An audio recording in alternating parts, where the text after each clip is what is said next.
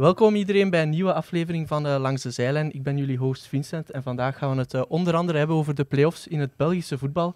Ik ben hier vandaag met Gilles, um, Floris en een van de meest iconische trainers op de Belgische velden. Als je Zulte Waregem zegt, kan je niet anders dan ook Frankie Dury zeggen. Welkom Frankie. Dankjewel, Goeie, goedemorgen. Alles goed? Bij mij momenteel zeer goed. Ja. Uh, eerst en vooral ja, bedankt om te, om te komen. We appreciëren dat erg dat je dat voor ons wilt doen. Met veel plezier. Okay. Misschien een, een, eerste vraagje. Mis je het voetbal nog niet te veel? je bedoelt het terrein? Goh, nee, omdat ik uiteindelijk half december zelf die beslissing heb genomen. ik was een beetje het, het, het, negatieve klimaat beu. Als je 64 bent, dan wil je je eigen lijnen bepalen. En dat was het de laatste tijd niet meer, niet meer in. Um, sindsdien heb ik wat vakantie genomen. Ik heb wat genoten van het leven. Ik fiets, ik sport, ik, uh, ik wandel, ik loop, uh, noem maar op. En ik, uh, ja, bon, ik kom ook een keer af en toe in de studio terecht. het is leuk. Ik heb, ik heb 38 jaar trainer geweest, van mijn 26. En um, ik zou eigenlijk zeggen, ik wist niet dat vrijheid zo leuk was. ik, amuseer, ik amuseer mij nu weg. Maar ik volg natuurlijk wel het voetbal van, van nabij. Ik, ik volg Champions League, ik volg uiteraard de Belgische competitie. Um, ja, op dat vlak kan ik mijn dagen wel heel goed vullen. En dan uh, veronderstel ik dat je ook Zulte Waregem een beetje blijven volgen ja, bent. Ja, uh, en wat vind je van hun, van hun seizoenseinde? Goh ja, weet je... Um, ik heb er vandaag nog aan gedacht, toen dat er wat het weekend wat discussies waren over, over scheidsrechtelijke beslissingen, vaarbeslissingen die opnieuw heel lang duren. Um, ik heb, um, ik heb uh, na, na, na zes of acht matchen had ik een gesprek met, uh, met, uh, met de verantwoordelijke van het referiedepartement, meneer Laye, de Fransman. En um, we hebben een uh, heel goed gesprek gehad. Want ik wou eens aankaarten een, een, goede slag, een goede start bij een slechte start, wat dit betekent voor een middenmotor. Um, um, wij hadden toen in Leuven een strafschop tegen gehad. Mm -hmm. vermeende fout van Sorbo op Henry. Uh, strafschop tegen. Um, en wij hebben ook een uh, vermeende strafschop, enfin, strafschop tegen gehad tegen uh. Waar dat Bastien, denk ik, de, de fout uitlokt op, op Louis Bostin. Louis speelde de bal, strafschop tegen. Dus dan heb je eigenlijk in twee matchen, die eerste twee matchen, al een strafschop tegen. En um, ja, de man gaf mij gelijk. Hij, hij, hij zei letterlijk, ja, de strafschop tegen standaard moet, moet te vaar tussenkomen. En daar moet je duidelijk zien dat, uh, dat de keeper de bal speelt. Maar ondertussen hebben we twee strafschoppen tegen gehad. Mm. In de eerste twee wedstrijden. Dus, dus dan, dan loop je een beetje achter de feiten aan. En um, dat komt niet meer goed. He, dus als je in het begin al een moeizame start hebt en je pakt bijvoorbeeld dan in de loop van de competitie wat gemakkelijk doelpunten, je hebt te weinig balvastheid in, balbar, in balbezit, en dan heb je een probleem. En uh, dat is geluk bij ongeluk. Wij gaan dan bijvoorbeeld de vijfde of de zesde match, dacht ik, op Union gaan spelen. Na acht minuten pakken wij een rode kaart. Sissako die, die, die een, een, een stevige takkel inzet, maar op de bal. En, en op de helft van de tegenstander, 70 meter van ons doel, pakken wij, pakken wij een rode kaart. Ja, en dan komen wij terug. Wij spelen naar een schitterende match met 10 tegen 11 op Union. Mm -hmm. En die toen een beetje de revelatie... Enfin, aan het seizoen de revelatie ja. geweest. Maar goed, toen nog een beetje uh, inconnu was. En uh, we verliezen daar in het slot met 2-1. Dus ik bedoel maar, al die, want ik had toen een, een compilatie gemaakt van, ik dacht zeven of acht momenten, uh, dan al, dat ik eigenlijk in ons nadeel kon plaatsen. En dat is veel voor een middenmotor. Ja. Ik, ik heb ooit tweede gespeeld uh, in, in, de competitie in, in, in 2011, 12. En uh, dan, dan heb je het geluk aan je zijde. We hebben toen nooit in play-off uh, scoorden wij een doelpunt, een offside goal van Torgan Hazard, een meter offside. Ah, ja, tegen Standaard? Nee, tegen Lokeren. Ah, Lokeren ja. Maar we pakten anderzijds ook twee buitenspel doelpunten tegen ah, Standaard. Ah, ja, dat was, en daardoor verloren we de titel. Dus uh, het geluk mee, het geluk tegen. Dus om dan rechtstreeks op uw vraag te antwoorden, ja, dan, dan, dan zit je in een moeilijk parket. En um, dan slaat de stress toe, want zo te Waregem, wij zijn niet gewoon om, om tegen degradatie te spelen. Sorry als ik nog regelmatig een keer zeg, hè. Ja, ja dat snap uh, ik. maar, maar ik ben dan uitgestapt in december. Timmy en Davy, voor mij twee zeer bekwame jongens, die, die goede trainers, nog, nog ambitieus, net uit de kleedkamer, dus waren voor mij de, de juiste opvolgers. Maar dan, dan, dan is dat moeilijk om dat onmiddellijk op de rails te krijgen. Het is niet omdat je verandert van trainer met een Mhm. vingerknip dat alles weer loopt. Ik ben natuurlijk blij dat ze gered zijn. Maar ik kijk tegelijkertijd ook een stukje benieuwd uit naar, eh, naar wat de toekomst zal brengen. Ehm, en dan misschien eens doorgaan op, op die VAR, wat je daar zegt. Vind je dat dan een goede evolutie? Je zegt dan in uw kampioenenjaar was hij er dan nog niet. Ja. Nu is hij er dan weer wel, maar dan zie je ook wel dat er nog altijd sommige fases ja, niet perfect beoordeeld worden. Inderdaad, Of- ik vind dat de, de, de interventies eh, zijn, zou ik zeggen, goed, maar die duren te lang. Ja. Het is ongelooflijk vervelend om als coach, supporter, speler, eh, minutenlang, want het is al gebeurd, ik denk een, een onder andere het doelpunt dat Anderlecht scoort tegen zou te waren, Ja. heeft minutenlang Mhm. geduurd. Eh, spelers waren zelfs op een bepaald moment gaan kijken naar het scherm om te zien wat is er nu eigenlijk juist eh, gebeurd. Eh, dat is vervelend. Ik denk dat er daar, bon, ofwel geef je de VAR meer middelen naar beeld, naar uithoeken, camera, et cetera, et cetera, invalshoeken, et cetera. Ehm, ofwel, bon, moet het, moet het we moeten gewoon zorgen dat de VAR een ondersteuning is voor het gebeuren. En niet dat de VAR op een bepaald moment ja, de wedstrijd gaat bepalen of leiden, Ja. zeg maar. Mhm. Leiden. Oké, eh, dan zullen we het misschien eens hebben over de play-offs van, eh, van dit seizoen. Of Ja. had je nog iets? Nee, dat is, dat is. Ehm ja, Spelageen is net afgelopen. Zowel Union als eh, club wonnen hun, hun, hun match. Eh, misschien een eerste vraag. Had je dat verwacht van Union, wat ze nu, nu doen? Nee, het, wat, wat dat Union vandaag neerzet is, eh, is eh, zeer mooi. Het doet mij eh, altijd denken aan wat, eh, ons, ons, ons, fantastisch seizoen. Eh, het is mogelijk, maar het geluk moet een beetje meezitten. Ik bedoel, het is mogelijk om als kleine ploeg nog altijd kampioen te spelen. Het geluk moet een beetje meezitten.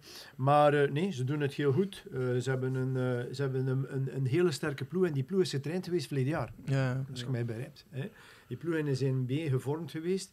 Eh je mag niet vergeten, alleen bon, de Casper Nielsen, dat is, dat is een hele sterke speler. Voor mij is dat top 10 op de Belgische velden. Eh, om niet te zeggen top 5. Eh, is echt waar, samen met Thomas zijn dat de leidende mannen in het middenveld. Vooraan hebben ze de lopende mensen met Oendaf en, en Van Zijr. Dus dat betekent altijd dat je lopende mensen hebt. Bijvoorbeeld, als ik daar reflecteer op Zoutewaren. Wij hadden ook twee hele goede sterke spitsen, Vossen en, en, en, en Gano. Maar die moeten altijd gevoed worden van op de flanken. Meestal van op links, omdat Jean-Luc Dompé een actie buitenom of een actie binnenin kan maken. En zij kunnen altijd top afwerken. Maar met Undaf en, en Van Zijr zit je eigenlijk met verticaal lopende Mm, jongens die eigenlijk de passes vanuit het middenveld al heel diep kunnen belopen. Dus dat betekent eigenlijk dat je altijd met heel veel volk achter de bal kunt blijven. Ze hebben die drie centrale verdedigers, ze hebben die twee flankspelers, waarvan dat Nieuwkoop allee, toch wel heel goed gedaan heeft dit jaar. En eh, die twee dat ik juist genoemd heb in het middenveld, die twee spitsen. En een Japaner die af en toe een keer op snelheid een actie kan maken. Ja, maar, ja, maar, ja, maar dat- en, en dan, ik heb dat ook gezien zon- zondag, eh drie en winst tegen Anderlecht. Ja, als je al die kopjes bekijkt na de wedstrijd met het vieren met die supporters, ja, dan dacht ik, er zijn maar vijf matchen niet meer. ja inderdaad. Er zijn, en, en Anderlecht en Antwerpen, die komen Nee. nooit meer terug. Dat Nee, bestaat nee. niet. Dat bestaat niet. Dat bestaat niet. Ik stel me zelfs nog de vraag of, dat ze, of dat ze nog competitief gaan zijn. Dus ik bedoel, die, die, die- die komen niet meer terug. Het wordt een competitie tussen club en Union, waar, dat ik, eh, ja, waar dat diegene die fout zal maken, hey, maar niet vergeten, een club staat drie punten achter. Hè. Dus als, als, als al in de twee wedstrijden de keer een gelijkspel of al zouden verliezen, ja, dan ziet het er goed uit voor, eh, voor Union. Is Union volgens u dan ook de favoriet voor nu de titel te pakken? Of Eh, voor mij, favoriet voor, voor, voor, eh, voor de play-off 1 was voor mij, was voor, of is voor mij Club Brugge. Ja. Omdat ik vind dat Club nog altijd de meeste kwaliteit heeft. Ze hebben drie aanvallers nog bijgetrokken. De Canadees samen met, met Skov Olsen en dan de, de spits die van, die van Duitsland komt. Dat eh, Philippe Clement stond tweede als- als hij vertrok, was een beetje, mm, allee, bon, zo gezegd onrust. Maar dat hoeft niet. Ze hebben ook nog Godoy als, als polyvalente eh, speler achterin of in het middenveld aangetrokken. Dus club, is ver, club komt versterkt uit de januari maand. Ja. Ja. Hè? En ehm, ze hebben ook de routine. Hè? Ze hebben de routine van de stress, van de noem maar op. En ik heb Mhm. ook in een interview onlangs toen, eh, toen in Humo mij vroeg wat, wat is uw visie over, over de favorieten, play of 1, noem maar op, heb ik ook uh, geopperd dat ik, eh, dat ik dacht dat, dat, de, dat de drie coaches die gaan spelen tegen Union ja, nu ook wel weten hoe dat ze ze moeten aanpakken. En dan zie je bijvoorbeeld zondag, na een kwartier is het al, eh, is het al 2-0. Ja, dan denk je, eh, ja, Mhm. bijvoorbeeld het eerste doelpunt, oké, kan er nog een klein beetje Ja. in komen, maar vooral het tweede doelpunt is een, is een doelpunt, ja, wat dat, eh, wat dat Union al, al Hans het seizoen gedaan Ja, heeft. Dus dan denk ik van, ja, hier ga je wel, eh, hier ga je wel in de fout. Is, eh, is het woord druk zeer belangrijk? Stress, druk? Of, Maar ik, je hebt, je er zijn tw- twee zaken dat je moet bij Union. Ik heb, dat- ik heb dat ook gezien bij ons. Ehm, het geloof, hè. Het geloof is enorm. Mhm. Die mannen hebben al zoveel gewonnen, hebben al zoveel verrast, dat er voor hun eh, geen limieten niet meer zijn. Dus op dat vlak ehm, zie, ik, zie ik niet snel negatieve druk in Union. Hun seizoen is geslaagd. Ja. Ja. Goed. Anderzijds, anderzijds het, eh, dit moeten ze nu proberen af te ronden.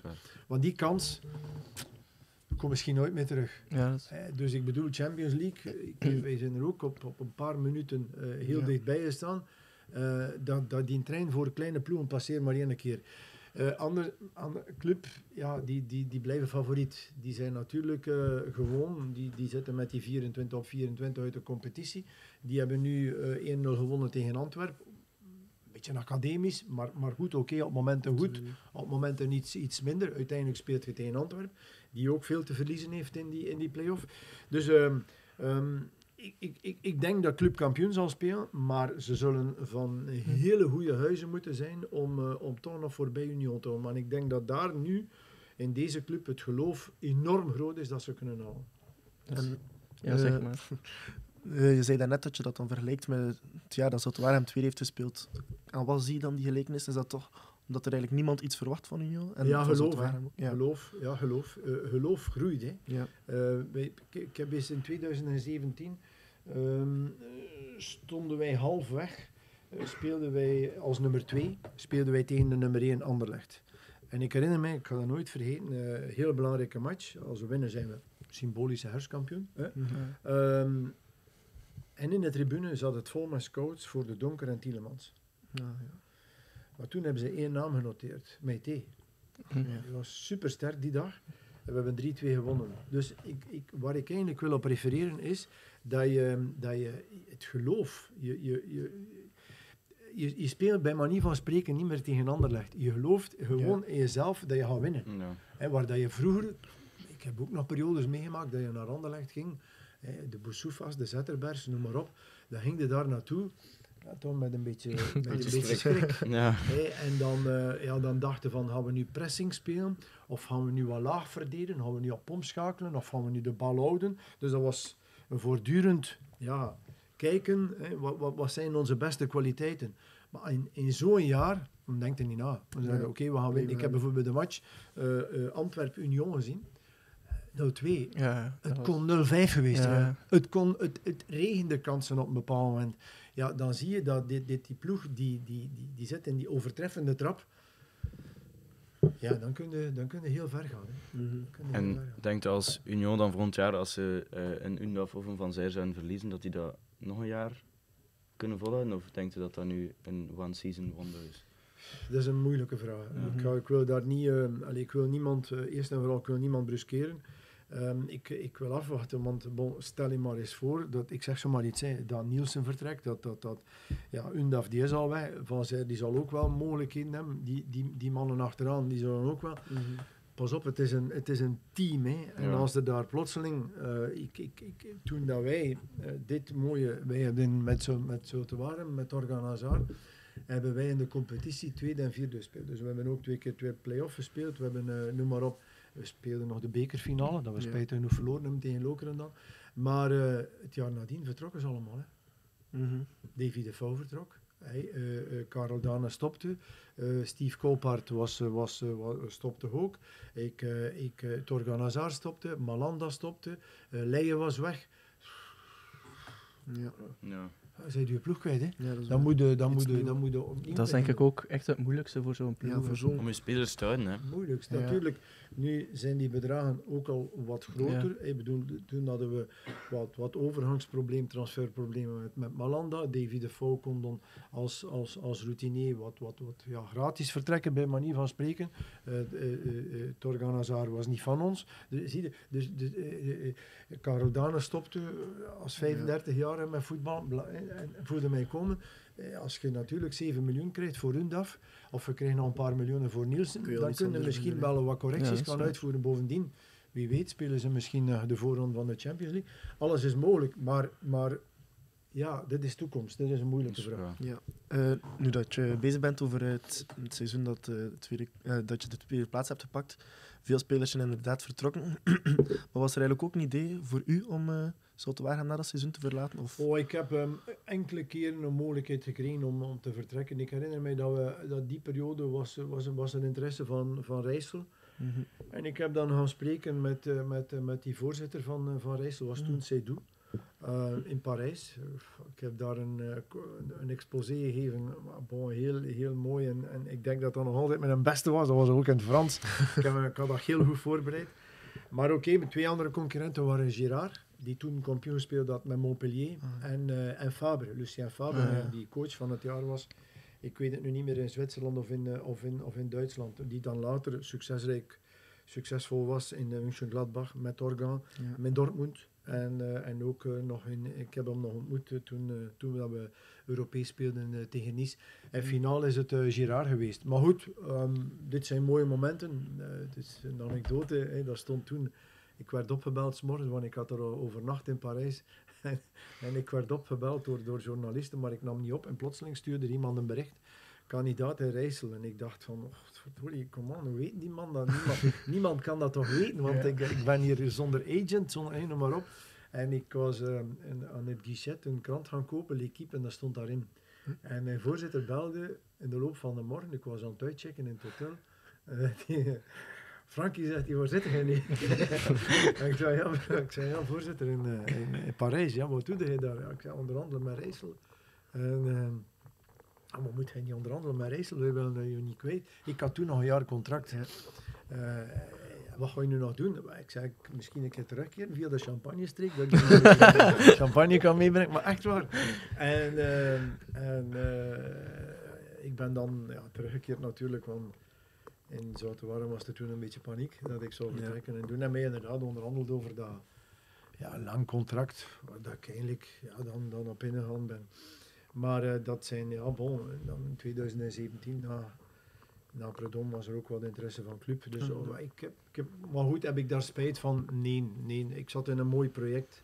In Ja. Zoutewarm ook een project waar ik in geloofde. Dus Dus nu zie je het eigenlijk niet als een gemiste kans dat je nooit een stap hebt gemaakt naar het buitenland. misschien vandaag wel. Ja, Ja. Begrijp je wat Ja, ik bedoel? ja. Ik zeg, ja, misschien moest ik dat wel een keer gedaan hebben, want die, kan, die, die trein gaat niet meer passeren. Nee. Maar goed, oké. Wie weet, hè. Wie weet in de toekomst. Boy, ja.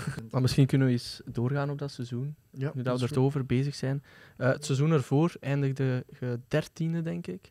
Ehm, wat waren dan de ambities voor het seizoen daarop? En wist je dat je zo een talent, talentvolle kern had? Dan? ja, maar ehm, ik ben toen toegekomen, ik kwam van de bond. Hè. Ah ja, ja. Dus halverwege in Ah, ja, ja. december eh, werd, ik, eh, werd ik gevraagd om, om naar Zultewaarhem terug te komen. Er stond inderdaad, ja, ik denk voorlaatst of, of derde laatst, ik weet dat niet meer juist.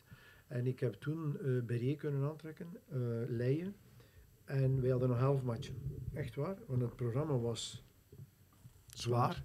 Henk, eh Gent, Standaard. Echt, echt zwaar. En wij zijn de voorbereiding, de, de, de, er was een winterstage en de voorbereiding op, die, op, op dat, dat, zeg maar, dat tweede part van, of dat derde part van het seizoen hebben we gedaan in, eh, in Marbella. En eh, we hebben daar ongelooflijk hard gewerkt. Mhm. Ongeloof, echt waar, echt waar. Ik was heel blij dat naast ons, de Rijn, Club Brugge trainde. Want eh, Christophe Daum was de trainer. Ah, ja. Een Duitser. En dat Mhm. was eh, ook heel zwaar. Nee, nee. Ik was heel tevreden dat hij eh, heel zwaar trainde. Dat, dat, dat mijn spelers zagen dat, dat we dat nodig hadden om, de top, om, om, om, om ons te redden, Ja. bij manier van spreken. En ehm, wij hebben, eh, ik denk, zeven, zes of zeven matchen ver waren we gered. Ik ga echt waar, mocht je opzoeken. Wij wonnen met 4-2 tegen Standaard. We waren gered. Maar er was nauwelijks vreugde. Want de physical coach van Standaard, Guy Namurois, top fysicus, eh, top, top fysio zeg maar, eh, bij Standaard, ehm, eh, had een dodelijke afloop gekend in een mountainbike-rit. Hmm. Vraag mij niet naar de specifieke omstandigheden, daar ben ik Ja. niet van op de hoogte. En dat schepte wel een bijzonder veel treurnis bij, eh bij Bailey en ook Frank Berrier. En dat was natuurlijk enfin, begrijpelijk een, eh, een stukje een stukje een minder moment in die, in die vreugde. Maar eh wij hebben dan mm, de nieuwe ploeg gaan vormen het jaar nadien. Met Berrier, met Delaplace, met eh, met, met die mannen. En eh, ik, ik, eh, wij konden toen Malanda aantrekken. Ja.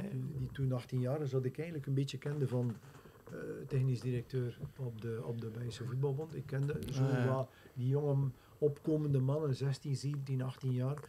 En eh, op een dag, want dat was 2012, op een dag zegt Patrick de Kuiper, CEO dan, ehm, ik ben geïnviteerd in het Olympisch dorp in Londen. Ehm, wie moet meebrengen? Moet Eden Hazard meebrengen? Grapje. Hè, moet, wie moet meebrengen? Moet Eden Hazard meebrengen? Zei, nee, breng, breng Torgan mee. Maar Torgan was meegegaan met Eden naar Chelsea, maar had nog niet de cv van ja, Mm. Van de zijn broer van vandaag, noem maar op. En eh, trouwens, ik had als technisch directeur van de bond, had ik nog een gesprek gehad met Garcia, die toen trainer was bij Racing Lens. Mhm. Garcia, die trouwens vandaag coach is bij Seren. Ah ja. Ja. Dat is Garcia. Ja, ja, ja. Kijk, maar, kijk maar naar zijn cv. Die was in 2012, 2011, was die coach van Torgan Hazard bij Racing Lens. Dus Torgan was toen 18 jaar, eh, zocht nog een beetje naar zijn positie. En dat gesprek dat ik had met, eh, met, die, met die Garcia toen, op dat moment, was, ging daar een beetje over. Wat is de beste positie voor Torgan? Is dat 7, is dat 10, is dat 11? Is dat naar binnen komen, is dat naar buiten komen, is dat spelmaker zijn? Als 18 jaar is niet zo gemakkelijk. Want Torgan had, in, en toen speelde Lens in Ligue 2. Ja. En die hadden niet zo, hij had niet zo heel veel minuten. Hij had wel een match of zeven of acht of tien gespeeld, maar niet zo heel veel minuten. Dus ehm Torgan was op dat moment, een beetje inconnu. Maar Patrick de Kuiper keert terug en hij zegt tegen mij, is het misschien wel mogelijk. Want hij was vertrokken met de agent van Hazard en noem maar op. En wat later stond eh, Torgan bij mij en hij excuseerde zich dat hij niet de cv had van zijn broer. en ik zei, ik zei, ik zei heureusement. Anders zat hij hier niet. Ja, Dus eigenlijk was Torgan Hazard echt een aankoop op, eh allee, een eh, huurperiode Ja. op uw Ja. eh, aanbeveling. Ja, dan, uiteraard, uiteraard, ja. En we hebben hem dan het jaar nadien, en we hebben hem nog eens kunnen houden. Ik vond dat belangrijk, om, ehm, om hem nog niet onmiddellijk, ja, zeg maar, naar die grote ploegen te laten Dat was na het jaar dat jullie tweede werden. Ja. ja. gaan. Ja, is hij nog een jaar Stond hij niet toen dichtbij? Kan mij vergissen bij Anderlecht? Of? Ja, maar Ja. dat is dan halfweg. Ah ja, oké, oké. Dat is dan eh, een heel verhaal geweest. Dus eh, Torgan heeft dan in de tweede seizoen, Ja, over het kalenderjaar, heeft hij de gouden schoen gewonnen. En dan is het verhaal naar buiten gekomen dat Anderlecht interesse had. Eh, ja, nogal een agressieve manier. Eh, ondertussen zijn al die namen die zijn eh, Ah, teruggekeerd later in, die, Ja, in dat dossier met, eh, met, ja, met toch wel wat personen waarvan, dat ik, waarvan dat ik toen dacht van pff, wat, is er hier aan de hand allemaal. Maar uiteindelijk hebben we het orgaan kunnen houden. En ehm, Van den Brom was toen trainer trouwens Ah, in Anderlecht. Ja, Dus ik vond het een beetje het gevrij met Torgan op de houden schoen vond ik er een beetje over. Hè, want Ja. uiteindelijk was voor ons. Maar, maar het initiële, het initiële eh, doen was, eh, was om Torgan op de houden schoen te kunnen voorstellen als, eh, Ah, als speler van Anderlecht. En wij hebben, ja, tuurlijk. Ja, tuurlijk. Waren, alle, grote, alle grote namen uit die, uit die propere handen waren toen in, in het verhaal betrokken. Ik denk aan Laurent Denis, ik denk aan uh, Moji Bayat, ik denk aan ja, nog wat andere mensen. Dus het was echt een kleine Zulte tegen, Het grote ja, Anderlecht. tegen het grote Anderlecht. Maar we zijn erin geslaagd om hem te houden. En ik herinner me, want Torgan was eh, de dag voordien niet op training geweest. Ja, Mhm. onder druk van, van die entourage. En, eh, maar hij belde mij op de woensdagnamiddag, coach, eh, ik ga vanavond komen naar de, naar de, naar de Gouden Schoen. Want de dreiging was, als hij niet vertrok naar Anderlecht, dat hij terug moest naar Chelsea. Maar Chelsea, dat was totaal, totaal niet waar. Maar goed, Ja. dit zijn anekdoten van tien jaar geleden, maar dat is... Ja. Dat, eh, dat blijft kleven. Hè. Dat, is, eh, dat is hard. Hè. Dat is bijna niet mogelijk dat dat, dat, dat kan in, in, in, in, voetballerij. Maar ja, als je dan later leest welke personen er betrokken zijn in, eh, in al die verhalen, dan is het eigenlijk niet moeilijk. Hè. Ja, inderdaad. Ehm, ja, je begint het seizoen 2012-13, toen je zo t- tweede werd. Is dat? Ik denk het wel, hè, 12, Eh, 13 zeker? Met Ja. 10 op 12, denk ik. En daarna drie nederlagen, maar dan terug zo'n supergoeie periode. Vanaf wanneer had je echt het gevoel van, er is hier wel iets mogelijk? Want ik denk dat er toen ook al play-offs waren, dus Ja. Ja. Dus is dat seizoen van het eerste jaar dat Eh, we met tweede speelden? toen we Ja, tweede tweede, werden, tweede, ja. Ja, weet je, weet je jong, dat, is, eh, dat groeit. Eh, ik herinner mij, wij zijn, wij zijn op, op, ook op club gaan winnen met, met 0-1. En, en als, je, als je dat meemaakt, als je, dat- dat- ik zie dat vandaag bij Union ook. Als je een keer gaat winnen tegen Anderlecht, als je een keer gaat winnen op club, als je een keer gaat winnen op Gent, dat is lijkt een coureur. Dat is lijkt een coureur die nog nooit gewonnen heeft. Maar plotseling je wint. Wat verdomme. Nog een keer winnen. Ja, nog een keer winnen. Dat vertrouwen is er. En kijk maar, kijk maar rond u. Ehm, iedere eerste heeft ooit eens zwaar ontgoocheld geweest dat hij tweede of derde was. Ja. Dat is zo. Dat is zo. Dat is, kijk in de koers, kijk in, in alle sporten. Eh, ooit is die eerste ooit een keer tweede of derde geweest, of vierde geweest. En ehm, dan voelt je dat je... Ja...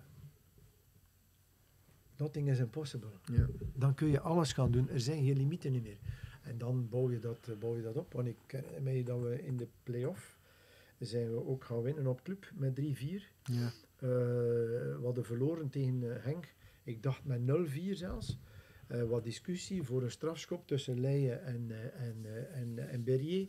Maar wij gaan naar Lokeren en we staan 2-0 achter. En ik maak mij kwaad aan de rust. Eh, Het lukte niet meer met, met Berrier en Leijen. Ik vervang Berrier. We doen een vervanging. En eh, bon, ik, ik, ik zet de groep op scherp. We winnen die match met 2-3 in play-off. Hè. In play-off 1. Hè. En dan, gaan we, dan winnen we thuis 5-2 tegen Club. Ja. En dan moeten we naar, naar Anderlecht, waar dat we die spijtige omstandigheden kennen. Dus je zit in een flow.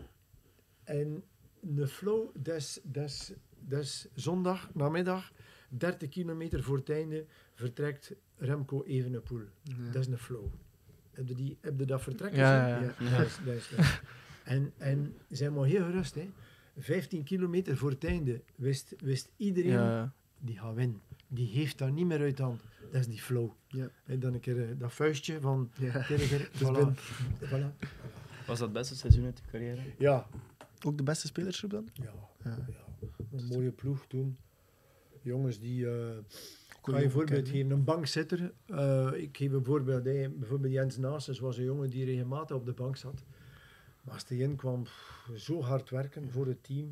Ehm, we hadden de finesse van, van Berrier, zeg maar, met, eh, met, eh, met, eh, met Hazard.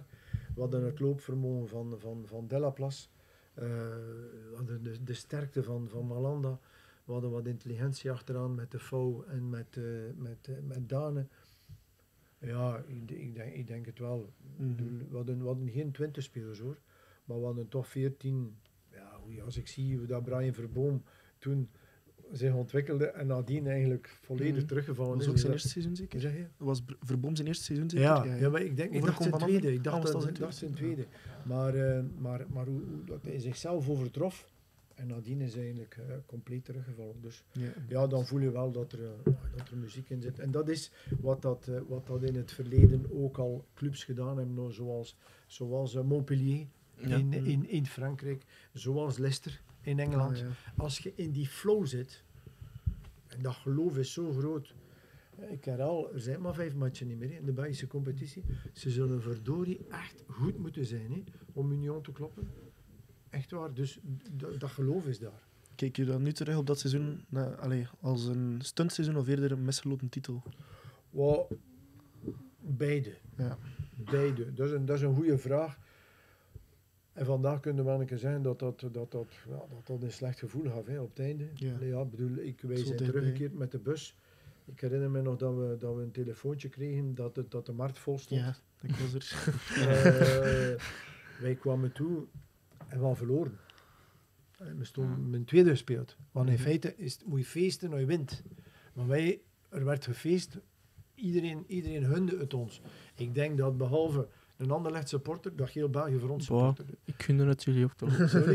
Ik ben Anderlecht supporter, maar ik gunde het Voilà. zo waren dus, ook eh, zelfs. dus ik bedoel, we zaten daar, eh, we zaten daar dichtbij. Maar goed, vandaag is dat, is dat folklore. Hè. Dat is tien jaar geleden, dus eh, voilà. Ja. Oké, ehm, dan zullen we misschien... Ja, ik heb misschien nog een vraagje. Hebt u nooit zo aanbiedingen gekregen om ergens een land te coachen of zo? De laatste weken. nee, nee, gewoon... Ah, de laatste week? Ah, ja. Maar ja, Drie sinds ik, sinds ik eh, gestopt ben, eh, half december, heb ik... eh, maar dat zijn, vandaag wordt die markt een beetje bepaald door, door zaakwaarnemers. Goed, en een zaakwaarnemer belt u, je hebt je zin om de nationale ploeg te trainen van, van dat land. Heb zin om de nationale ploeg te trainen van dat land. Ik was laatst gaan skiën en ik kreeg een telefoontje, heb je zin om, om deze ploeg over te nemen. Ja, ik, ik stond op de skilat en ik zei, ja, bon, allez, laat mij even staan. We bellen vanavond terug. Nee, we bellen vanavond terug. Is Ja, ik zocht wat informatie over die club. Die club had, dat was geen nationaal ploeg, maar die club had, had al maanden niet gewonnen. Enfin, weken, ik denk twee maanden niet gewonnen. Eh, er waren nog negen matchen, vier thuis, vijf uit. Eh, ik kende die ploeg niet, ik kende die competitie niet. Ja. Dat ga uiteindelijk, bon, overnemen in februari, maart, dat, dat zijn ploegen die in, die in problemen zitten. Mhm. Dus dan denk ik dat het beter is dat je, dat je wacht. En, en nu zien we wel, en passeert er nog een keer een trein, wat ik zeg, kijk goed, wie, hier wil ik op springen, dan doe ik dat. Zo niet, dan, eh, ja, dan kom ik misschien volgende keer een keer terug naar hier. hè. Top, dat is een deal.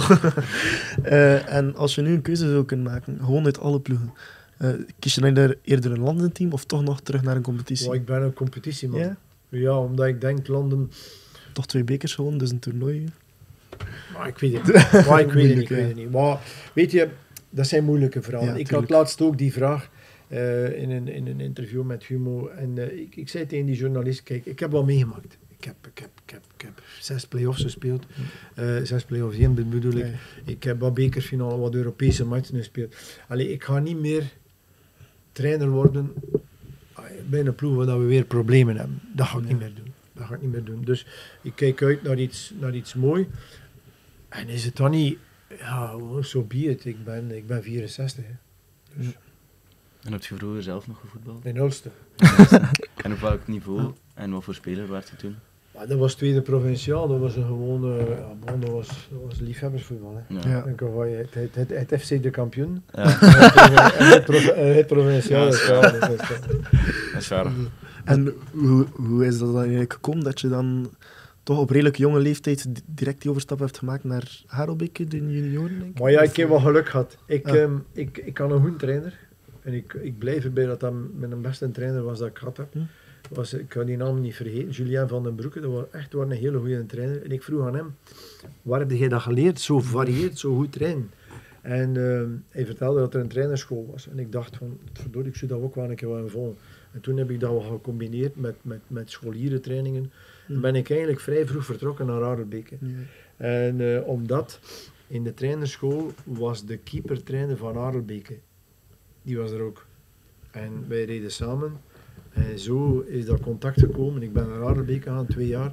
En ik ben dan naar Beverlei gegaan. Ja. En in mijn eerste zes jaar had ik al vier keer gepromoveerd. Mhm. Ja, en dan, Weet je dat als je zit. dan zegt van een rode deur dat een zwart is, dan geloven de mensen niet. Ja. Nee, nee, nee, nee. Je zit in een flow. Ja. Je zit in een flow. En eh, ja, that's it. Mhm. Was er als voetballer een speler of trainer waar je toen naar opkeek? Of vooral je Of- trainer. Oh, nee, nee, omdat je... Dat is, Ja. liefhebbersvoetbal. Nee.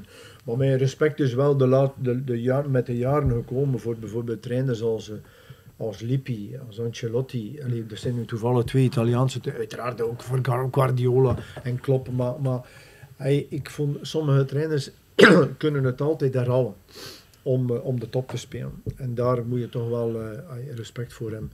Is ook zo, en ik, ik herinner mij een, een uitspraak van Guardiola. Hij zei, de beste trainers zijn niet altijd diegenen die kampioen spelen met de ploeg. Want een goede trainer kan ook iemand zijn die, ja, bon, die, die, die, die, die vijfde speelt met een, met een hele middelmatige ploeg. Dat kan ook. Dat kan ook.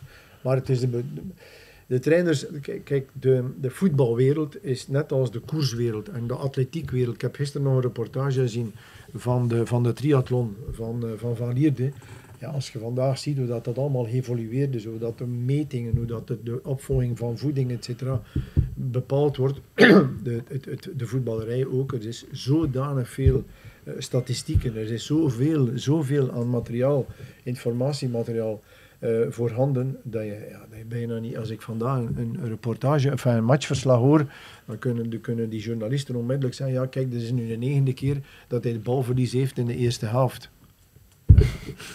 Nee. De Sadeleer vroeger kon dat niet zeggen. Nee, inderdaad. Nee. Vertel maar iemand nog een vraag. Ehm, ik ga nog een keer kijken. Ik heb ook gevonden dat je een boek aan het schrijven. Ja, ja, dus, dus uh, ja. Was dat een vraag? Ja, hoe, de, hoe dat is met een boek? Mooi. Uh, nee, ik ga je zeggen, ik, um, ik ben eigenlijk, ik, ik had altijd het idee gehad, als ik stop, dan wil ik een boek schrijven. En een boek schrijven uh, in elf hoofdstukken, met elf subhoofdstukken. Maar eigenlijk mijn bedoeling. en ik ben, want oké, okay, ik moet dan nu hoofdstukken beginnen. Ja. en ik heb uh, de anekdotes van het amateurvoetbal is een hoofdstuk. En de anekdotes van het profvoetbal is ook een hoofdstuk. Wel, dat schrijft ongelooflijk. Dus, ik had 90 pagina's en ik was eigenlijk... Allee, bon, ik had nog maar twee of drie hoofdstukken. Begrijpt je? Maar ik wil er ook een beetje... Ik wil, ik wil er ook een beetje een, een, een, een sportwetenschap van maken. Ik wil er ook een beetje... Um, er, de mensen mogen ook weten wat dan mijn favoriete uh, uh, positiespelen waren. Wat dan mijn elf favoriete uh, passingvormen zijn. Mm. mag ook weten hoe dat we trainen op, op een 4-3-3 of op een, of op een driemansdefensie. Hoe dat we daar werken in balbezit of hoe, wat dat de filosofie is in balverlies. Dus ik wil dat wel wat meegeven. En net dat is het moeilijkste. Weet wel, je, je, begint, je begint iets te schrijven. Ehm, Eigenlijk zou je dat moeten tonen op video. Kijk, als de dien druk zet, dan moet een dien sluiten. Maar vandaag, allez, ik, ik, heb, ik had er gisteren nog over ook, een paslijn.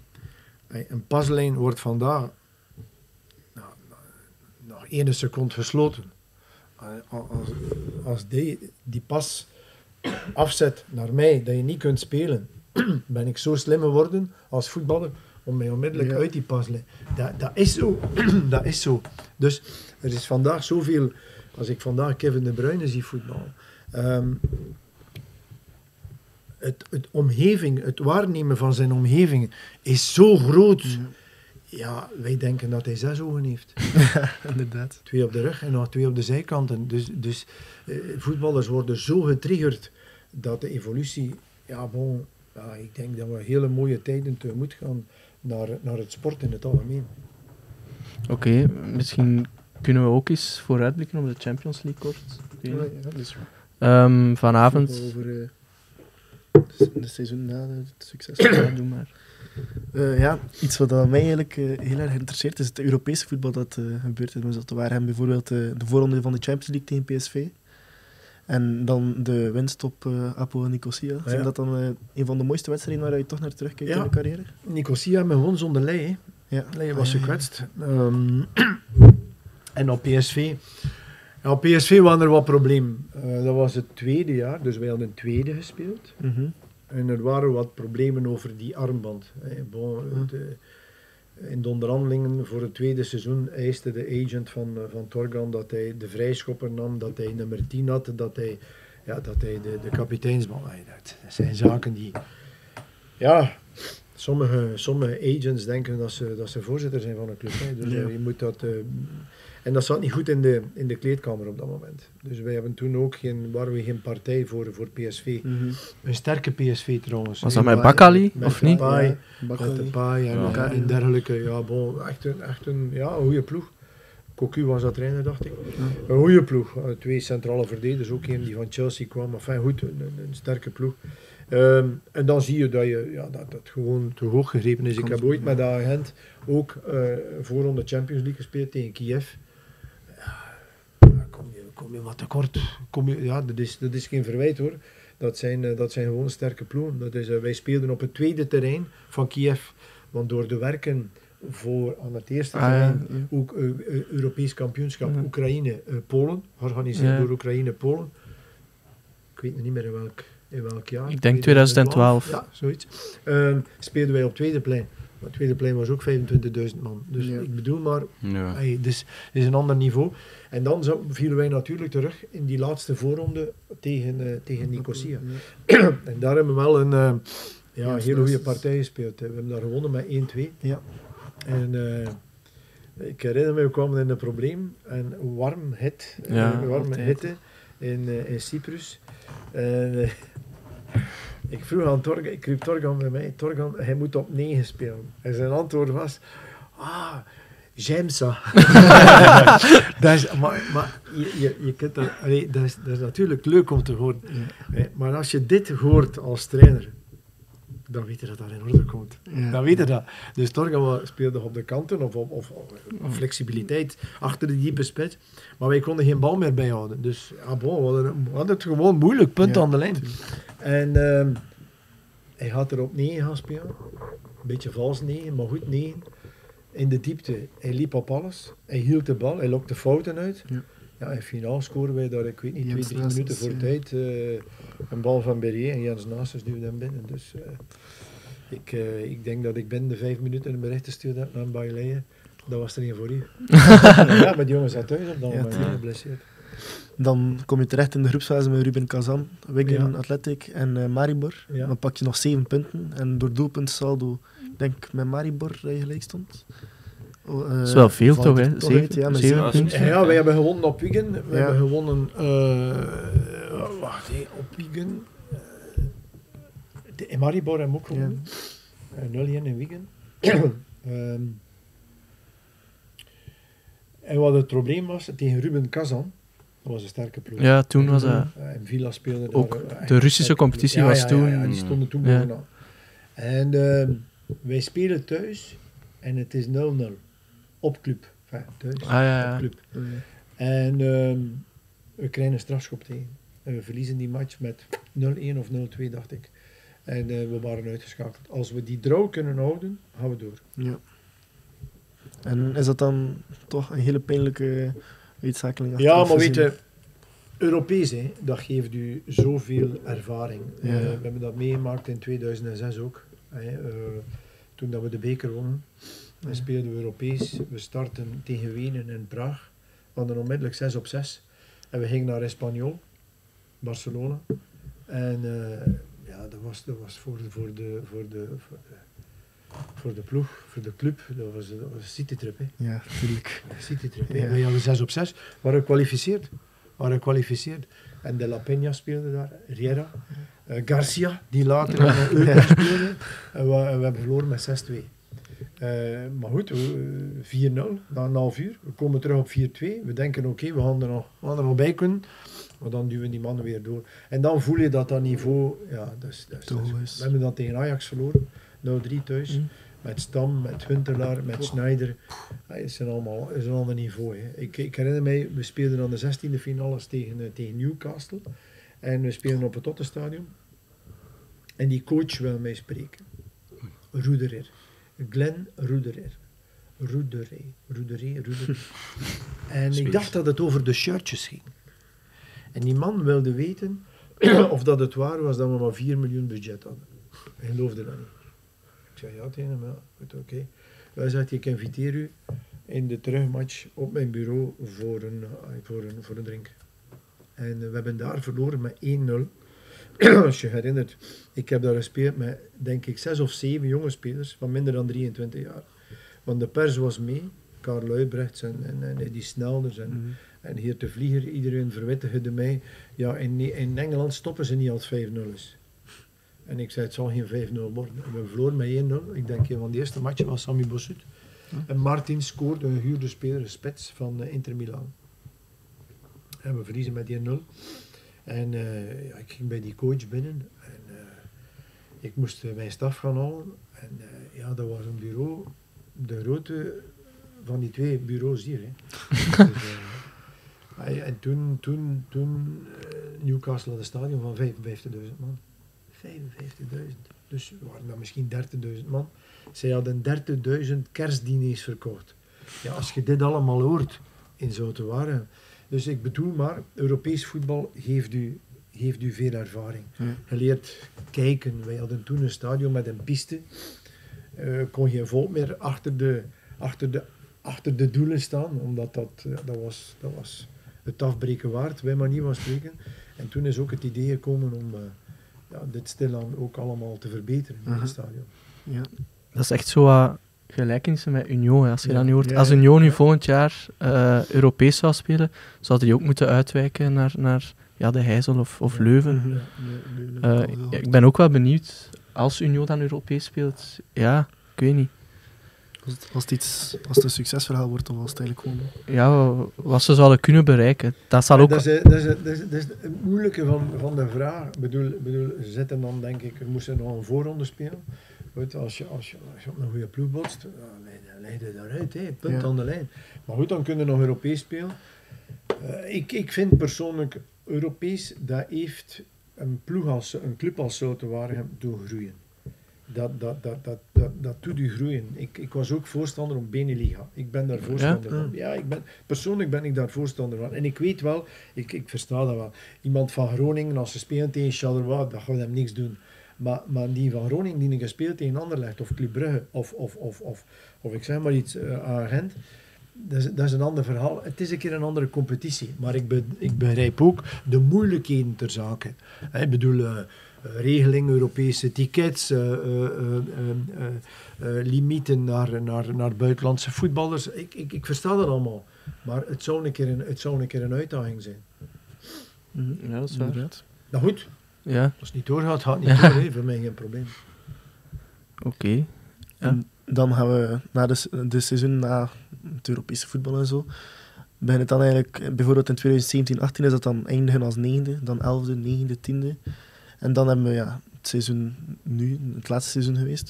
Hoe kijk je eigenlijk terug op uw afscheid bij Zultuaren? Maar wat kan je zeggen? Um, 17 is nog een goed seizoen geweest. Ja. 17. En de combinatie 18 speelden we in de midden, zoals je zegt. Hè. Ik heb met Zultuaren nooit degradatiestress gekend. Nee. Nooit. Wij zijn altijd gered geweest, vier, vijf weken op zijn minst, voor het einde van de competitie. Dus op dat vlak, ik ga je, ik ga je nog iets meegeven. Sommige mensen ja, de laatste jaren, het was veel minder. Ja, wacht, wacht, wacht. Maar. 2020, kijk maar. Kijk ja. maar in uw, in uw, in uw, in uw boekhouding. nee, wij hadden uh, heel moeilijk gestart. Ik had nog Larin kunnen binnenhalen. Ja, Mensa, Berraino. Bruno, De Schacht. Ja. En wij stonden na 20 matchen, twee derde van de competitie, januari, kijk maar, stonden wij zesde. En wij speelden een halve finale tegen Club Brugge. Ah ja, ik weet dat nog, denk ik. 1-1. Ah, ja, de ketelaar. Ja. Fout van Mignolet. Ja, ja, ja. Inderdaad, de ketelaar schoot bij ons de winning al 1-2. Goed. Goed, uh, dus wij waren nog competitief, maar de pech was er dat wij in januari starten wij Henk, Antwerp, Charleroi. Ja, drie ja. ploegen die later play-off 1 gespeeld hebben. Goed, en tussendoor hadden we club en wij toen nog Waasland Beven gehad. Waasland Beven die klopte met 5-0, dus we deden wat, dat we, wat dat we goed in waren. Maar we verloren nipt tegen Antwerp met 2-1. We verloren tegen, uh, tegen, uh, tegen Henk. Ja, en voor hetzelfde geld is dat, dat andersom. Ploegen, ja. En dat kan gebeuren. We pakken een rode kaart op, uh, op, op Charleroi en we verliezen niet meer. En dan komt er een klein beetje onrust op de club. En dat is niet nodig. We staan uiteindelijk nog altijd... Ja, we verloren die, die vijfde plaats, die zesde plaats. We, we zakten terug naar 7, 8, 9. Maar goed, 9. Ik zag deze winter, uh, in januari, zag ik Charleroi spelen op club. 2-0, een van de eerste matchen van Schreuder. Ja, ik dacht, Charleroi, wij kunnen dat ook. Wij moeten, wij moeten daar ook voor staan. Maar goed, ja, um, waar dat wij vroeger net onder de subtop zaten, of net onder de top zaten, in de subtop, is die plaats de laatste twee, drie jaar ingenomen door KV Mechelen en door Charleroi. En dat maakt het natuurlijk een beetje, um, als je en jullie zijn nog jonge mensen, maar als je een beetje euforie gekend hebt en je valt een beetje terug, dan zijn er veel mensen die dat negatief gaan ervaren. Ik denk dat je net die momenten moet, moet aangrijpen om, om, om weer te gaan kijken wat moeten we doen om succesrijk te zijn. Ga terugkeren naar, u, naar, naar het verleden jaar dan. Dus niet afgelopen seizoen, maar het jaar Ja. voordien. Ehm, starten, we, starten we moeilijk. Slechte start. Hè. Eh, eerste jaar ook van Simons en de Vouw in de staf. Moeilijk. Eh, maar uiteindelijk gaan wij op Cerkelbrugge een schitterende, allee, bon, gesloten match gaan spelen. We winnen met 1-3. En dat was match 11. En tussen match 11 en 32, die 22 matchen, stonden wij tweede na Club Brugge. Die 22, hè? niet de eerste Ja, 10, ja, ja. niet de laatste twee. Die 22. Want vijf matchen voor het einde van de competitie gaan we naar Anderlecht en spelen we voor een plaats in play-off 1. Dus zo slecht was dat. Nee, Maar, maar, mocht het, google het maar, hè, wat ik u zeg is juist. Hè, maar ik versta de perceptie. Ja. Hè, eh, vandaag ook, er zijn twee zaken. Met Antwerpen erbij te komen, is niet meer gemakkelijk om play-off 1 te spelen. Twee, vier ploegen, Ja, Ja, niet veel, hè. dat is, ik, vind dat, ik vind dat te weinig. Hè. Als je dan toch weer play-off speelt, is het beter dat je, dat, je, dat je dat doet met zes. En met inderdaad 16 Mm. ploegen. En met, eh, noem maar op. Maar wat is er vandaag het verkeerde beeld in de Belgische competitie? Het zijn allemaal profspelers. Maar de ploegen 9 tot 16, die spelen geen voetbal meer. Nee. Overal, kijk maar, overal in heel Europa worden nu de finales uitgedeeld. In Duitsland, in Engeland, in Frankrijk, in Italië, overal. Overal. In België zijn er acht, eh, wacht, eh, eh, acht, eh, acht ploegen die niet meer voetballen. Ploegen tussen 9 en 16. Ja. We kunnen het toch niet, Nee, dat is waar. we kunnen het toch niet verkopen. Nee. Er lag een voorstel op tafel om de ploegen tussen 9 en 16 onderling nog te laten spelen. Niet meer voor een prijs. Ticket, die zijn verdeeld onder de Champions eh, eh, eh, Playoffs en de Europa Playoffs. Eh, maar gewoon voor de tv halen. Dus bijvoorbeeld ploeg 9 einde in de competitie. En door het voetballen ga je zakken naar de dertiende plaats, heb je tv-geld van de dertiende plaats. Ik vond dat een heel goed voorstel. Waarom? Omdat je dan effectief nog matchen hebt. Ja, Je waar. supporters kunnen nog komen. Mhm. Oké, welke supporter gaat er komen? Ik zeg maar iets, Zoutewaar en Oostende. Ik versta dat allemaal. Maar wat gebeurt er nu? Die jongens moeten allemaal nog vier, vijf weken trainen. Zonder niks. Ja. Dus er zullen nu veel, veel teams stoppen begin mei. Maar je mag niet vergeten, die zullen weer ja, moet, moet ergens starten. Hè. Die zullen misschien weer begin, beginnen begin juni. Maar het is pas einde juli dat de competitie terugstart. Dus, dus er, is daar, er was een voorstel en uiteindelijk is dat dan afgeketst. Vraag me niet hoe, waarom. Ik was echt de mening toegedaan toen dat we starten dat dat ging erdoor komen. Maar dat is er niet doorgekomen. Dus. Mhm. Dus ben je dan toch voorstander van die, van die play-off met zes en dan andere ploegen of gewoon geen play-offs? Ik ben, ik, het, mooiste is geen, geen play-off. Ja. Dat, is, dat, is Ja. eigenlijk, dat vind ik het meest eerlijke. Want eh, wat, wat gebeurt dan nog eens in België? We delen dan nog Halvering van het punt. Ehm, stel je maar nu voor dat je Union zit en staat 12 punten voor. Dan heb ik er een minder periode, oké, dat kan een keer gebeuren. En dat wordt 6 punten. Het zijn nog altijd 6 punten. Ja. Nu was het 3. En het gedeeld door 2. Allee, dus ik vind, ehm, dus dat betekent dat de wedstrijden in de competitie maar anderhalf punt zijn. Dat is ook waar. Dat is, dat is niet juist. Club kan, allee, Club kan, he- heeft dat ook gedaan. eh, met Odoi, drie aanvallers, die zijn, die zijn super versterkt uit de januari maand gekomen. Super versterkt. Dus uw vraag in het begin, wie is de favoriet? Tuurlijk Club Brugge. Tuurlijk. Wat is het mooiste moment uit hele carrière? Goh, dat is misschien een simpel antwoord, maar winnen. winnen. Eh, iedere winst heeft een, eh, heeft een, heeft een, heeft een ongelooflijk gevoel.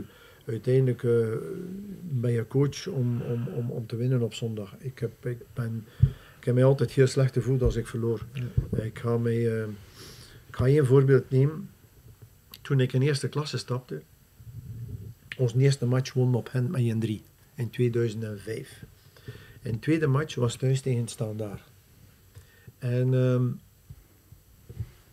we staan 1-0 voor. 90ste minuut. En er komen drie minuten bij.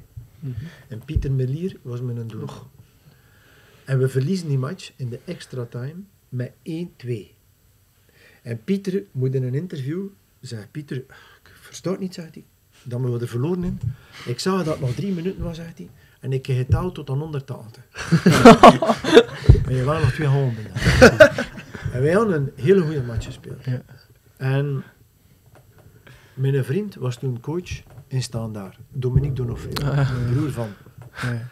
En Dominique komt bij mij, we hadden samen de ProLicense eh, cursus gevolgd. En Dominique komt bij mij en omarmt mij met zijn heze stem, warme stem. Frankie, in belle équipe, toi. En toen heb ik nagedacht, ik krijg complimenten van iemand, ik heb wel verloren. Ja.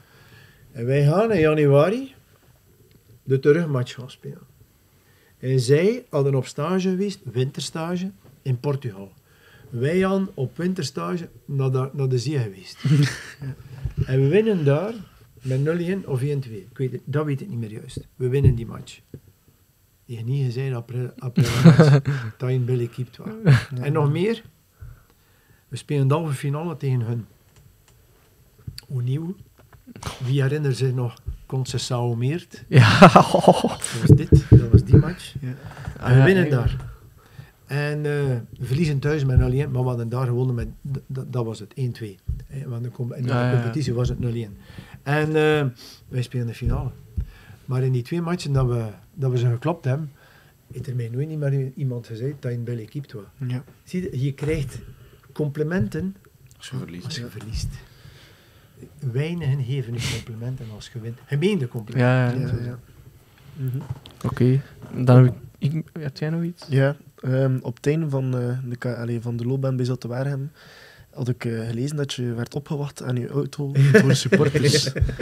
Is dat dan eigenlijk wel echt een moment waarop je denkt van, Ja, ik heb ja. zoveel mooie dingen gedaan voor de club. Maar ja, Tom, moet of- je, als je dat meemaakt, dan moet je zeggen, uh, Dury stopt er. ja, nee, nee. Ja, ik was ook verrast. We hadden 5-1 verloren op Serrain.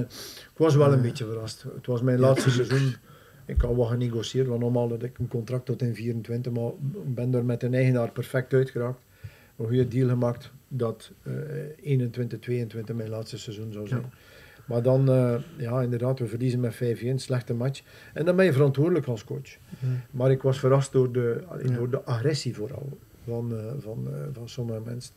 waren dat dan veel supporters? Hoe zeg je? Waren dat veel supporters? Dat Een stuk of 10, 12. Ja, goed. 0,0. maar, eh, maar goed, oké, je moet, eh, dat zijn signalen. En toen heb ik met, de met de eigenaar ook ah, een goede babbel gehad. En toen wilden we wel doordoen, maar ik voelde, allee, toen tegen Antwerpen, uh, ging er een, span, een spandoek, eh, stond er daarop, 0% passie, Ah, ja. 100% money. Ja, dan, dan, ah, dan, dan schrik ik. Dan denk ik van, oei. Oei, jullie. En dan eh op op Eupen, beker van België, staan we nou weer voor. Ah, En worden 2-2, Ja. Prevdiak scoren nog twee of drie keer. En supporters beginnen weer te roepen. En dan dacht ik van, ja, misschien is het wel beter dat we, dat geweest. we een oplossing vinden. Ik heb dan met de eigenaar een, een voorstel gedaan om op te staan. Ja. En dat is een, eh, we hebben een goede deal gemaakt, correcte deal. En eh, ik denk dat dat beter was. Alleen is het niet 100% geholpen. Eh, maar het negativisme was, was weg. Want ik vind, als het neg- negativisme rond de club impact heeft op je team, op het veld, dan moet je als coach ook een stap opzij durven zetten. Ja. Goed, dat is een afscheid in mineur, maar goed, ja. Het is zo. Voilà, ik lig daar niet van wakker. Ja. Ik heb, eh, het ik heb het verwoord, want ik heb die vraag al veel gekregen. Ik heb te veel mooie momenten gehad in Zoltowa. Ja. Om, dat, om die periode nu eigenlijk negatief te bekijken. Ja. Ik, ik praat nog veel in we-verhalen. Ik, ehm, ik, heb, ik heb nog vrienden lopen op maar Het is niet zo... Ik bedoel, die, die 10 of die 15 zijn misschien opgelucht dat ik weg ben. Maar misschien eh, zijn die mensen vandaag weer niet gelukkig dat er weer iets verkeerd loopt. Dus ik, ik laat dat in de midden. En ehm, ik zou zeggen, ik verheef het hun. Ja. Oké, dan Ik denk heb nog ah, twee vragen toch? Ja, ik ook nog, denk ik. Ja. Maar misschien zijn het dezelfde. Ehm, ja, nee, doe jij maar eens. Het was ter afsluiting. Ja, ehm, iets wat ik me afvraag is eigenlijk eh, wie dat, eh, de meest talentvolle of beste speler is volgens u om- waar je ooit mee samen hebt gewerkt. Ik denk wel Torga. Ja? Ja, ik denk het wel. Ik denk het wel, ja. Een goeie, nee. Ja. Ja, maar ik bedoel, ik bedoel ehm, er was een jongen in de, in de schaduw van zijn broer, die, die zeer talentvol was. Ik heb met Eder nog het geluk gehad om, om toch een match of drie voor te bereiden met de nationale ploeg als assistent van Verkouten. Dat was toch wel een eh, heel groot, allee, een super talent. Maar, eh, maar Torgan was, eh, was een, eh, een. Ik heb bij hem twee jaar gewerkt. Nooit één probleem gehad. Nooit, nooit, nooit, nooit, nooit, nooit te laat. Altijd plezier, altijd kwaliteit, altijd geconcentreerd. Ja, dan moeten we wel zeggen dat dat toch wel. ehm, Frank Beré had ook iets. Die had Mhm. een ongelooflijke pas in zijn voet. Ehm Meite was ook een sterke speler. Eh, vond ik ook. Die is dan naar. eh, speelt vandaag in Benfica. Hè. Ehm, wie ik ook goed vond als spits was Olialenka. Ah, ja. Die in Praag speelt. Ja. Sterke speler. eh, hardwerkende jongen. Ehm Bailey natuurlijk. Pas op, Davy Defoe, althans kapitein ook veel. Dus ik heb wel het geluk gehad om met, eh, met een pak goede spelers eh, te, kunnen, te kunnen werken. Ja. Mhm. Ik denk dat de laatste vraag dezelfde is van ons. Huh? Ik denk dat we alle twee nu nog dezelfde vraag hebben. Welke? eh, deze? Ja, stel, jij- stel jij ze maar. Oké, ja, dan. Ehm, ja, onze laatste vraag is misschien wel een vraag dat je had kunnen verwachten. Zien we Frankie Dury nog terug als trainer? En dan misschien volgend seizoen al? Of... Maar ik weet het niet. Ah. dat is een, dat is Ah, een ja. moeilijke vraag. Ehm, ik, ik heb juist gezegd, ik ga niet meer, allee, ik ga niet meer naar ploegen waar dat je op voorhand weet dat, je, dat je problemen gaat hebben. dat je niet, niet, niet dat mij dat afschrikt, maar ik heb het gehad. Ik heb het gehad. Dus, dus ik zie wel, als die trein nog een keer passeert met een mooie club, en ik heb daar de mogelijkheid van, zou ik dat wel doen. Eh, maar enkel die voorwaarden. Ja. Ik, ik wil, allee, sportief sta, sta bovenaan. En als dat niet meer lukt, oké, dan passeert hij niet. Hè. Dan, Ja, eh, dan rijdt hij weg van mij. maar eh, nee, nee, ik heb, ik heb, ik heb hele mooie... eh, ik heb veel, veel mooie momenten gehad in mijn carrière. Ik, ik ben begonnen in derde provinciaal. En ik heb uiteindelijk gestrand op, op, op de tweede plaats in eerste klasse. Dus dat is een, dat is een lange weg. Ehm, ik- iedere, als je vrouw, dat is je mooiste overwinning. Ja, de eerste keer dat ik de beker van België gewonnen was Ah, ja. iets. Eh, De eerste keer dat je, dat je kampioen speelde is iets. Ik heb, ik, heb, ik heb heel veel mooie momenten gehad. Ik heb laatst nog eh, mijn eerste club in Beverlei. Ben ik, ben ik verleden week nog uitgedaagd geweest door drie spelers om te gaan fietsen. Hij zei, ja bon coach, het hij ons vroeger altijd toen afzien. Maar wat wil er nu een keer mee pa? Ik heb, die, ik heb, de, ik heb ingegaan op, eh, op hun voorstel en we hebben een fietstocht gemaakt. Dus ik, ik, zoveel mooie momenten, maar natuurlijk ieder verlies, Is ook een verlies. daar zijn er kapot van. Hè. Ja. Daar zijn er kapot van. Echt waar, dat meen ik. Ik, eh, ik heb ehm, altijd een slechte verliezer geweest. Ehm, en ik heb dat ook ooit ergens een keer gelezen. Als eh, winnaars verliezen, dan moet je opletten. Dan moet je niet te heel dicht gaan in hun omgeving. Dus, en dat is wel juist. Dat is wel juist. Je moet... eh, ja, ik, eh, vier tegen vier, een matchje, een matchje tennis, een matchje padel, een matchje what- whatever. Ja, dat speelt om te winnen. Hè. Ja. Dat speelt om te winnen. En eh, het mag nog gewoon een kaartspel zijn. Ja, als, al die, als die andere al die maniel heeft, eh, dan, kan ik, het niet winnen.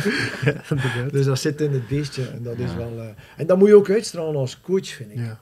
Dat moet je ook uitstralen. Ik vind... eh, ik, heb, ik heb soms een keer een discussie gehad met, met referees, maar ik heb er eigenlijk nooit... nooit ik, ik, ik denk dat ik in mijn carrière, professionele carrière, ik denk twee keer van het veld gevlogen ben, maar ik heb nooit gestraft geweest. Mhm. Ik, ik zei altijd, en dat vind ik, en dat is, dat is een goede zaak, ik, ik zei altijd, ik werd niet verwittigd. Ik wist niet hoe ver ik mocht gaan. En daardoor is ook die gele kaart erin gekomen. Mhm. Ik vind het heel goed dat vandaag ook trainers een gele kaart kunnen krijgen. Ik spreek mij niet uit over, over, over, over bijvoorbeeld een rode kaart van Van, dat, daar spreek ik, van Van Aasbroek, daar spreek ik mij niet over uit. Weet je wel? Ik weet ook niet wat dat er daar gebeurd is. Maar ik vind het goed dat je verwitterd wordt. Aan een kruispunt word je ook verwitterd. Hier mag je door. Nu wordt het moeilijk. Oranje, rood, stop. Ja. En ik vond het niet kunnen dat, dat, dat scheidsrechters gewoon een trainer voor een opmerking, een emotionele opmerking veelal, ehm, van het terrein eh, verwijderden. Dus ik vind het wel goed dat je vandaag verwitterd wordt. Kijk, ik heb vandaag een gele kaart. En dan weten, ah, oké, hier moet ik wel opletten. Dus ik vind dat wel, eh, vind dat wel een goede zaak. Dus verliezen, dat is, eh, ja, dat is, dat, staat niet in uw, in uw dictionaire. Hè. Oké, en dan misschien om af te sluiten de allerlaatste vraag. Wie wordt er dit jaar kampioen? Ik denk Lubrun. Ja. Oké. Ik denk Lubrun, maar uh, ik zet er een maar bij. Ja, ja. Uh, ik, dat snap ik. Die vraag werd mij ook gesteld verleden week en toen heb ik eigenlijk zonder verpinken club gezegd. Ja. Ik zei dat nog vandaag, maar ik zet er een beetje voorbehoud bij, omdat ik verdorie die Union, die zijn... Uh, die, die hebben indruk gemaakt op mij ja. tegen Anderlecht. Oké, okay, en dan wil je nog heel erg bedanken voor je komst. Met veel plezier. En uh, ik wil ook Gilles en uh, Floris bedanken en u beste kijker of luisteraar. Dit was weer een nieuwe aflevering van Langs de Zijlijn.